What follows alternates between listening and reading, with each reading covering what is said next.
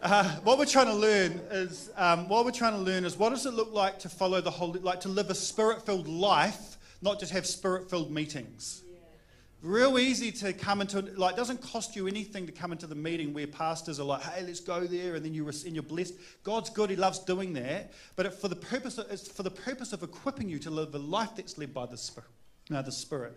And so I'm like, oh no, who, who can we you know get in to help us with that? And there's a couple of people, but top of mind for me was Mum. I was like, she's done such an amazing job, uh, because and what's in, what's inspiring for me is that it's one thing coming out of a conference all revved up it's another thing having a life that's just clearly orientated around the Holy Spirit, just leading and guiding, and just being yielded and submitted to the things of the Spirit. So, you can have this mic. I'll give you the other one. Okay. Gosh, big act to follow. so, uh, I'm, I'm just going to interview Mum. I'm going to ask you some questions just because we thought that would be a little bit more in line with how mum kind of is. and uh, hopefully it'll be helpful. So, the first question I have, Mum, is when I was growing up, I had to eat everything on my plate. And like it was quite strict. And like then I went to Bible college, and I've been wanting to ask this for a long time actually. And I came out, and I remember Gabriel, my little sister, got a separate meal cooked for her. Um, can you help me understand what was going on in that moment? Because it was. okay, well, I felt led by the Spirit. Oh. Good answer. I actually, I think Sam first child, I was really trying to do everything right. And when the fourth one came along, things got pretty lax. and she turned out all right as well. And I think so, you did too. Oh, okay, that's good. Probably better though, eh? Like, yeah, I'm better. Yeah, okay. it was those veggies. Yeah. um, so, uh, how did you come to faith? Because I know that, uh, like I've talked about my grandfather, your dad. Yeah who was an ama- who's actually left a huge left a huge legacy for us in terms of our family line. But he came to faith, and then we just know he started praying. But do you want to tell about how you came to faith? Yeah. So is there a little picture there um, of my family? Okay, so I just thought this would be quite nice. This is 44 years ago, and I'm 10 years old there.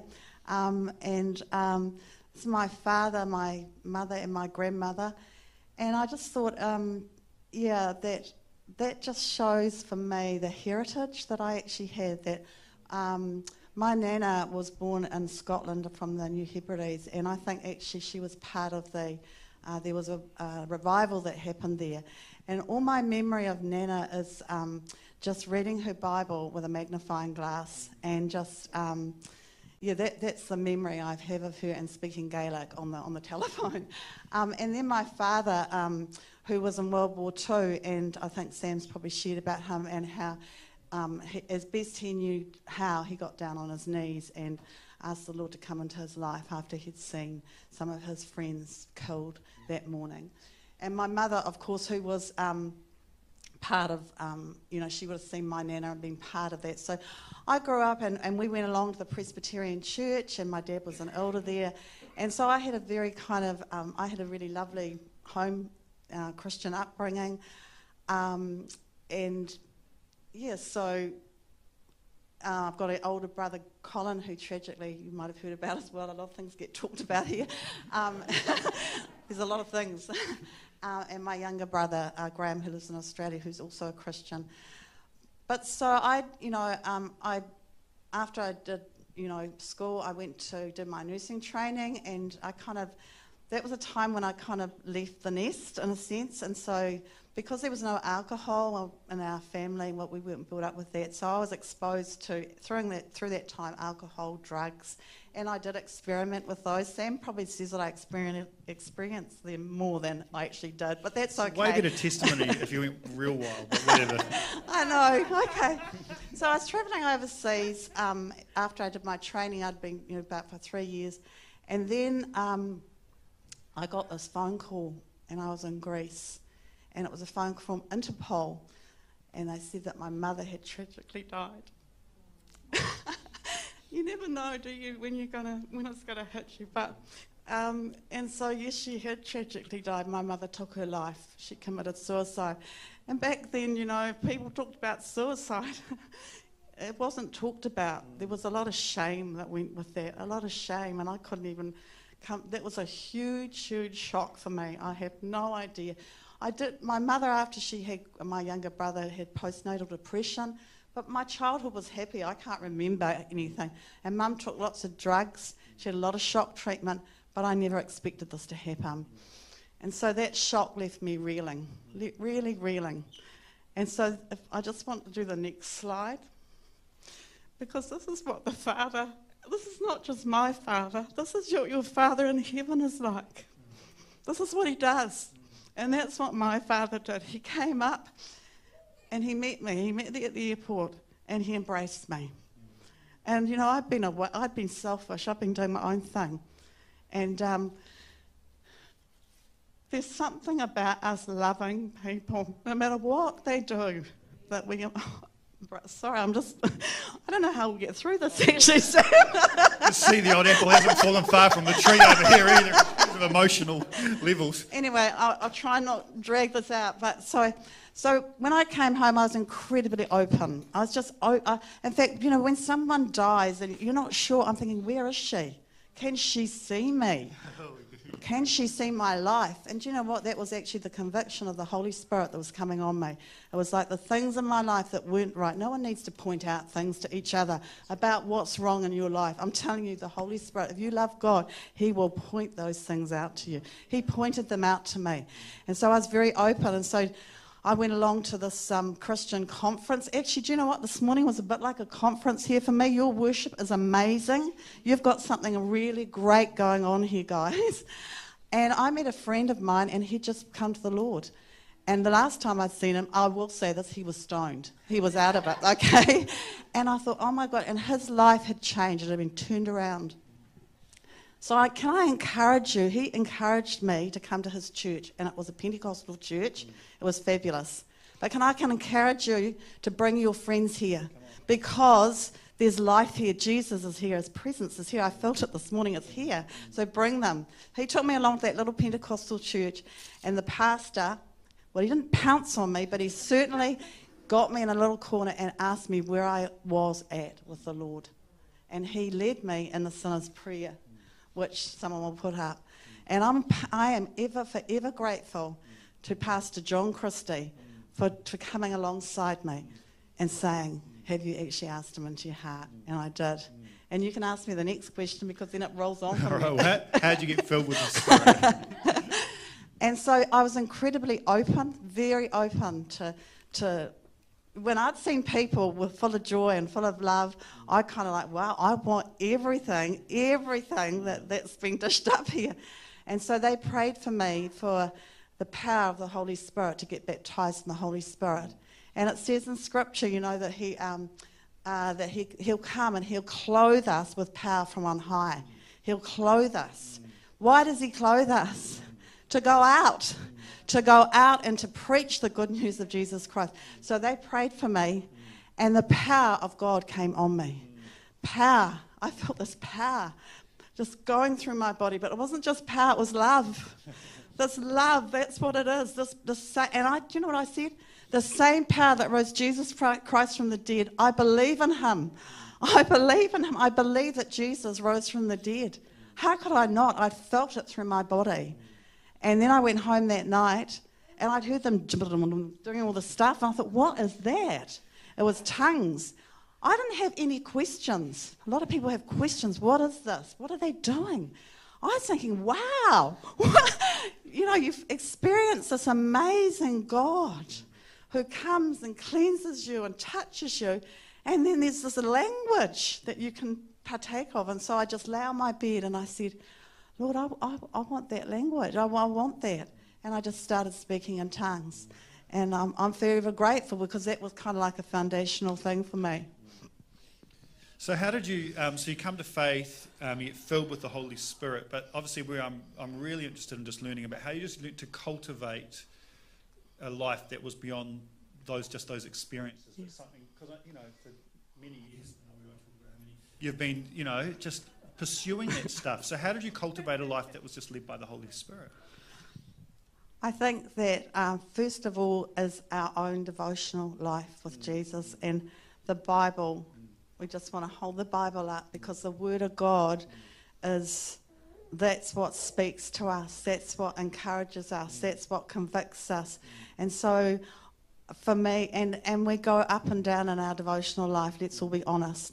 But that is pivotal to, to the life of the Spirit because it's actually the Word of God that speaks into our lives. And so uh, that would be one of the first things that, um, yeah, that to me is important. And the second thing is um, because I'd received the gift of tongues um, very early, you know, when I got converted, uh, that was such um, an amazing tool for me, and so, to be praying in the Spirit. And I've, I've, I've ebbed and waned over that, but uh, but that has been one of the things that I've really learned to be praying in the Spirit because I think the more you pray in the Spirit, the, you get these little downloads of, of people or, or, or, things that happen. So, um, and he says not only that, he says to keep on being filled. So I hope you all got filled this morning because actually we, we, we have to keep on being filled. Um, and when we're not, we're doing stuff in our own strength and it's exhausting, absolutely exhausting. So I'm learning and I'm still wanting to be filled more and more with the Spirit. Keep flicking these pages, Sam. um, and, and there's lots, I mean, you know, I'm, there's lots of things that you could say over 40 years. I'm thinking, Sam, wow, you know, this is a bit, bit, of, a, bit of a tall ask, actually. Um, but also keeping the things of the Holy Spirit and the gifts alive. Um, 1 Corinthians 14. Yeah, 1 Corinthians 4. Just to keep those alive. It says to pursue love, but to earnestly desire to prophesy. Mm. So we have to. We have to keep those things alive, and we have to keep like we've got to keep our own fire burning so that we can actually give it out to other people. Mm. And so, um, surround. I, one of the things I did was, was I surrounded my people. I surrounded myself with people that loved the Holy Spirit. Mm who loved to prophesy, who loved chasing after those things of God. And it's like the company you keep affects you. If you're with cynical people, you become cynical. If you become bitter, you'll hang, oh, sorry, but you will start to hang out probably with some bitter people. You, you know, who you hang out with is actually very important in your, in your journey.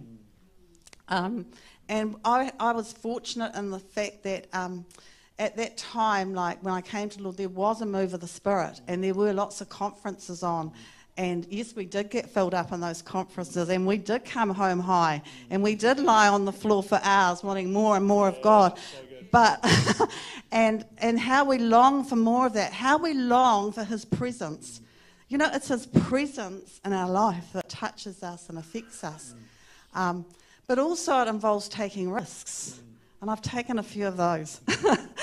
uh, sometimes I've wanted the, the floor to open up, actually. but I think we've taken risks in our lives. I look at Graydon, my lovely husband over there. and uh, handsome man. Ooh, done well. and um, so it's not just the promptings of the Spirit, it's also the leadings of God. And so in our life, um, Graydon, when he was 17, he, he heard the audible voice of God. Mm. I've never heard that. So, um, but it was to go into the Anglican Church, and it was to be because it was a mission field. It was to preach the gospel. It was to get people filled with the Spirit. And when we, we went to South America, it was the same. It was this calling, this leading. That's, a, that's, that's obeying the promptings of the Spirit. And I think you've shared, Sam, about getting people around who you talk to and, and, and, and test those things.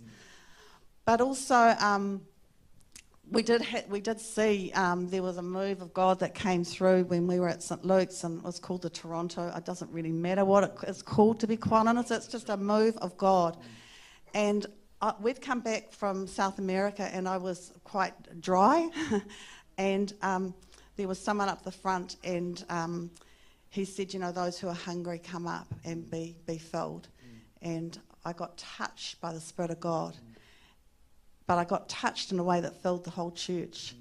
And I was groaning and groaning and groaning and groaning. Do you know what that groaning was? It was the love of God. I'd never experienced, not, not the love, the heart of God. What's God's heart for Ukraine at the moment? What's his heart? Says that Jesus offered up our prayers and gro- he offered those up to the Father. But that was, you know, and then you take a risk. And then I remember I kept, I'm always tried to reach out for words. I mean, we all try, but we get it wrong. And I remember one morning, because I thought it's good to hear one morning that you get it all wrong, you know? or we get it wrong a lot of the time. One morning I remember getting this scripture, and it was about, the, about the, um, Jesus saying about the man who had a withered hand. And I got this scripture, and I thought, oh, that's strange. I don't want to really speak that out, you know? And I didn't. I didn't speak it out. I just thought it just doesn't make sense.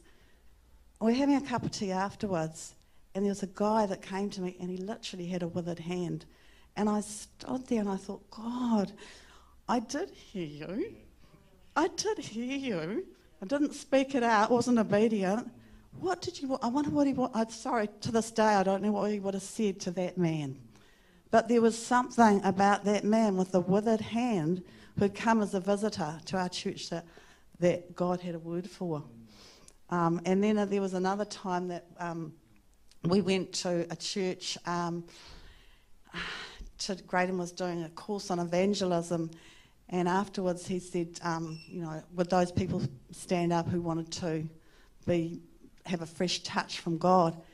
And I got up and I felt the power of God on me, and I just started praying and saying things and in tongues and then saying things in English. And then I just went around and was praying for these people. And there was this kind of like weird vibe going on in the place. and afterwards, I thought, oh, just let, could the floor open up, please, now, so I can just disappear. Afterwards, someone wrote a book um, from that church and had said how um, someone had seen that and had struggled. And I thought, yeah, I bet they did actually. And he prayed about it and he said that he said that when Annette was doing that, he saw the glory of God and angels touching people's lives with the fire. And you know, that's what I felt. I felt God wanted to touch people with this fire of God. And I thought, thank you, Father, that I went out there. but what's more important is that I might have looked an idiot, but if people's lives are going to go out there and, and, and, and touch other people's lives, then who am I to get so worried that I got it all wrong anyway? Sorry, Sam, I'm raving on. No, you're here. doing great. It's uh, very unlike you to rave on. I'm, I'm enjoying it. Um, John Wimber actually said, for God to look good, we've got to be prepared to look a bit foolish sometimes. And again, we're talking last week about that radical obedience that I think God's calling us back to. We've got very safe in the Western Church. Now we're going through lots of challenges, and it's time that we become fools for God again. I love that. Um, so during those times um, in South America, and I know that you got saved in a Pentecostal church and then married an Anglican vicar. um, he knew how to level me out. oh, can't let it. Um, so tell us about how you navigated through those some of those dry times that you mentioned South America um, some of those times where it felt um, like we all go through them, but like yeah. how did you how did you somehow wipe? Because I love because I feel like I'm just hearing wisdom this morning, and I'm like all of us like how can we learn the wisdom of a woman who's learned to live a life in the spirit? But so how did you learn to navigate those drier times, those disappointing times, those times where you're like, yeah, how did you navigate those okay. with, with some wisdom? First of all, I want to say that there's grace. Mm. There's grace over our lives. Mm this grace, um, there's probably some scriptures. Um, Ephesians 4 7. Yeah, that um, God is a God of grace, and He does put grace over our life. T- that one before, oh, Timothy 1 9. He does put, um, yeah, He just puts this grace mm. over His life because of who He is. So you, you learn to know that actually you are weak. Mm and the weaker you become, the better it is because then you have more of His grace, which He says is all sufficient. And so that is an over or that's an over thing that goes over our lives, this wonderful grace that helps us actually through dry times, through times when we've lost loved ones, through there's just so much that happens in our life, and overall there's this wonderful grace of God. And then once again, it's our own personal devotional life. It's our own. And what I'd say here is that when things, when we don't have all these amazing experiences, we've got to dig our own wells. And so in South America, we were where we were. We, you're on another language, another culture. And you can be that here in New Zealand. In fact, even at this time, you can be in that, that place, to be quite honest, with all the things that are going on. But the, the overriding thing is digging into the Word of God, digging into your own relationship with God, digging your own wells into the wells of salvation. He's put this in us. And this, the Word of God, it's a living, active Word. It's our manna from heaven. It's, we cannot live without, without Him. And so that is one of the things for me that, um, yeah, I had, to, I had to dig those wells myself. I had to get into the Word. But even in that, you can still be in a dry place. And I can remember when we came back from South America, like I said before, you, in fact, when you get dry, you don't know how dry you are. So you honestly don't. Other people can see it. And I think, oh, and you get further, and you want to remove yourself from fellowship. You want to remove yourself from, from. You actually don't want to be around people who are really fired up with God. It kind of like, oh, you know, even though you're walking with Him, um, so that, that's, um, but the prophetic, when we came back, um, I remember Bronnie rang me up and she said, You know, you should get Phil down to speak to your little ladies group. I was doing a Bible study and I really thought, I'm not in a good place to do this. you know, I'd rather be doing a craft group. um, and Phil came down and um, he, he prophesied over me to strengthen the things that remain. Yeah, there were some things that had really gone down. And that prophetic word started to, to bring life into me again. So, you know, that was one of the things that you get the paper going. oh, and I've got to do declarations. well, I remember this. I remember when you were going yeah, through God, you tricky times, I, you know, when I was old enough to kind of recognize what was going on and you just had these declarations from the scriptures that you would just pray over your mind and over our family every day. And I remember you just doing that. And it wasn't, again, it was just a choice. I'm going to declare these truths over. Do you want to speak to some of that stuff that. Um, oh, okay. Yep. Uh, yes, so that was. Um, isn't it great the way God puts different things in your life or different people? And I remember there was um, a couple and they talked about um, declarations, and they had a book of declarations and just declaring the word of God. And, and because my mother had had these, you know, had had severe depression, um, I think I've shared here before, I, I certainly did not want to have to go down that track. And I certainly, I had a fear of that. So, like, actually, when Sam was born, um, I was declaring God has not given me a spirit of fear, but a power, love, and a sound mind. I wanted a sound mind. And from that, I learned a lot more, a lot more of the power of declaration. And, and recently, I'm declaring health over my body as I get older.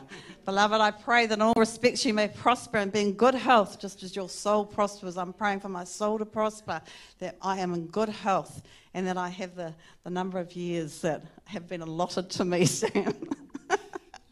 Um, um, yeah, I think I've shared about uh, that whole sense of, um, yeah, what, what have I got here, Sam? Oh. Don't withdraw, keep pressing in, come on. I think one of the things is too, like that whole thing of we're, we're meant to gather together. Don't forsake gathering. Now, it seems strange because I was in an Anglican church and I had to go every Sunday. Yeah. And you know what? I'm grateful for that because, because actually I, there were many mornings when I would have thought, I don't want to go. And that's actually when we're not right. You know, when we, and so I'm grateful that God put me there because I tell you what, I would have, I probably would have been scooting out the doors many times. So can I encourage you that that is one thing. Don't withdraw from fellowship. Keep, keep being with one another. Keep encouraging one another. Okay, so let's talk a little bit about um, today and um, and just how you continue to just be spirit led. Like, tell us about how that looks for you at the moment, and what's been so inspiring for me as your son, but also why I wanted to get you in is because. Like I don't, I don't see you cooling down. I see you I revving don't want to cool down. got, we haven't got, I haven't got long to go, so I'm going to get prepared. but it, like you know, it is inspiring because it's like I've seen a lot of people go hard for a short time, mm. but I love that you're going hard for Jesus and you just keep going hard for Jesus. And mm. we've got a lot of saints like that in our church yeah. who just keep on pressing in and keep choosing the way of Jesus. But talk talk about what the Lord's been saying to you recently and just how you're trying to just walk again in obedience okay. to the promptings of the Spirit? Okay. Uh, well, once again, it comes back to the whole word, like that whole discipline, I guess, because, um, yeah, we're not retired, but we're certainly in a different stage of life. And so um, I'm, I'm wanting that to be even more a priority. And um, recently, I've just been, I've got several things that I'm doing uh, in that sense, but I do it a lot more. I've, I've always loved walking and love, we've got e bikes but any opportunity. boomer bikes, I like to call them. That's cool. I've got the boomer bikes. But every opportunity, I pray more and more in the spirit. So um, Graydon doesn't know what's going on in the car, but there's a lot of there's a lot of kundara going on underneath in trains, on bikes, because I so I've definitely if I look at when I first started out, I wanted far more time, and that's just a default. That's become a default for me. I just default into it, um, and that then means that I find that people come across my path, things happen. Um, and recently, I was walking down the beach, and I've got a picture here of a seagull. and I felt that God was saying to me in this season. Um, to catch the winds. You know, like when that seagull gets up into the wind, it just glides. So the grandkids, you know, they look at me now and think, oh, mum's looking at the seagulls. but you can be doing, you've got to do a flop, you know, they do a lot of flapping to get up there. but I don't want to be flapping anymore. I actually don't want to be flapping. I don't want any of you to be flapping. Like what Sam said this morning, let's catch the drafts. Let's catch the winds of the Spirit. Let's, let's see what's he doing, what's he saying in people's lives. And so, um, yeah, that, and we're involved We're one of the things that Graydon's got really involved in is evangelism. We're trying to encourage people to start sharing their faith and start leading people to Jesus because someone took me to church. Someone, Pastor John Christie, led me to Jesus. And we're, so we're, we're trying to do that. And, um, and I'm a part of an intercession group, and I love doing that too, storming the heavens, being in the presence of God and praying for. So, yeah, just, just keep being close to Him, being close to Him. What's oh praise and worship? Come on, come on, Beth, praise and worship this year. yeah, pra- and praise and worship is definitely um, when you when you put him up and you look up and you keep worshiping him and praising him, you come into how he sees things, and that's the difference of when we're down here, but when we look up and we put who He is. So I listen to I listen to a lot of. In fact, recently I've been listening. Now, some, none of you young ones will get this. I'm listening to Pat Boone. See, it's only a few. because hey, someone at the back.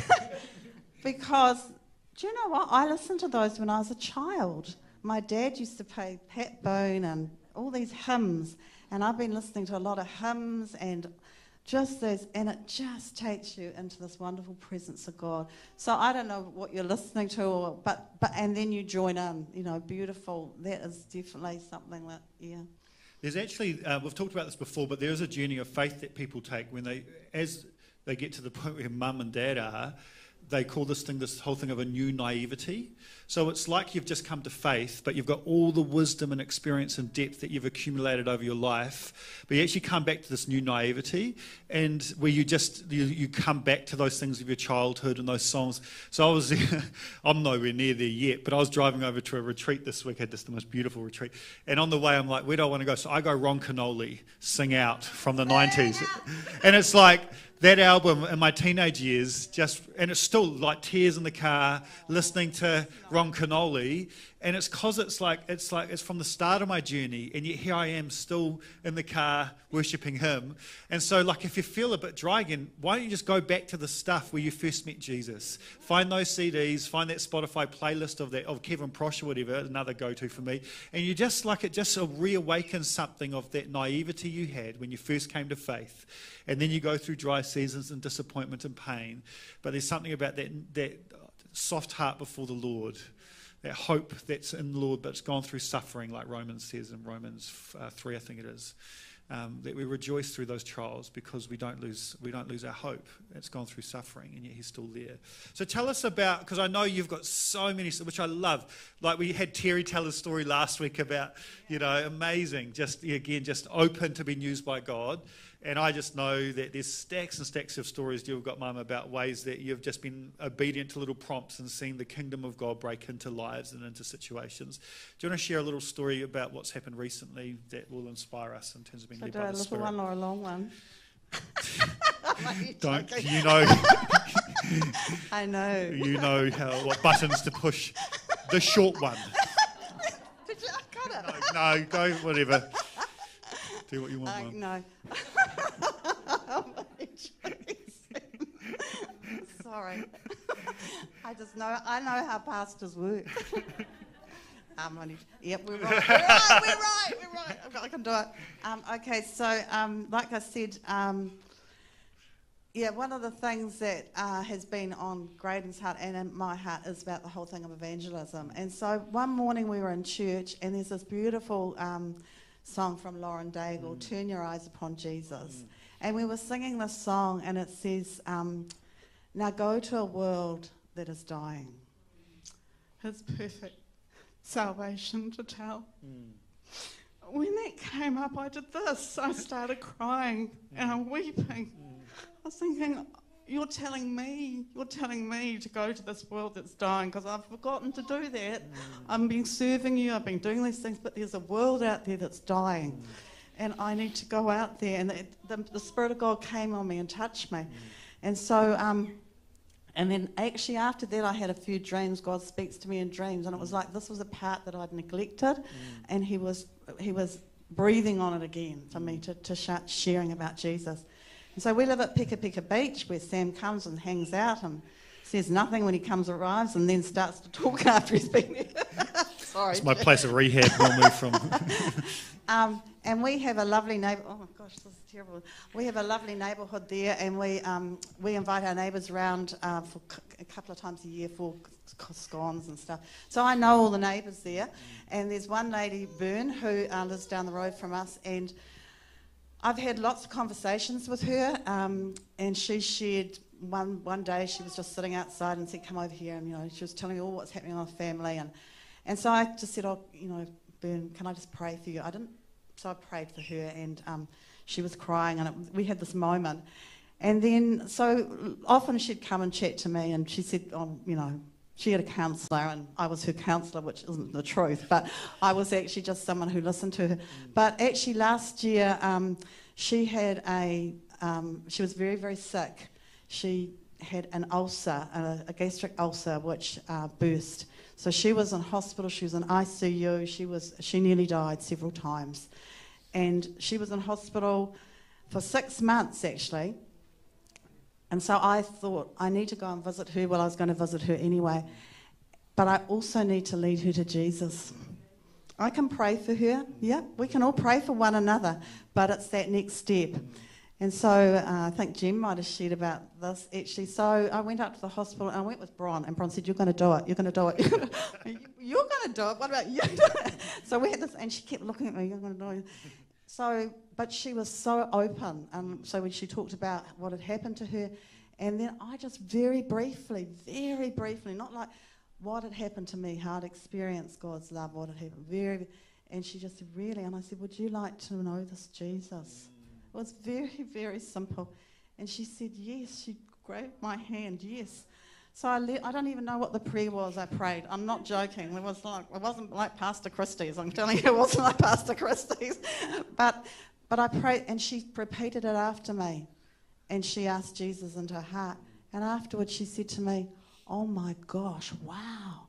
She saw this bright white light. White light. And she said, I'm surrounded by angels. You know, this, this is the salvation of her soul. And now, recently, um, that's, that's her there. and recently, she's now got cancer of the stomach. And so, um, the other day we were prompted, well, not prompted, you don't even need to be prompted to go and visit people in hospital. Let's get that straight. Just go and visit them. um, and I had the, once again, we were in there and she was very real. And I, I said to her, you know, she was talking about that she's now going to die. And so I said to her, Do you remember what happened, Bern? And she said, Yes, I do. I do remember what happened. And I said, Can I pray for you? And she just grabbed my hand. She said, Yes, please, Annette, please. What is the wonder of that? And how did that, do you know, it's not just her journey, it's my journey. God prompted me. He didn't prompt me, He actually came and said, You need to start sharing, you need to get asking, telling them about Jesus. And so I know that Bern, you know, same dress, guys. I was going to say, Mum, that seems to be a fairly, it's a lovely dress. Bern's, So oh, Bern's 70 and I'm 69, pretty close. It's very close.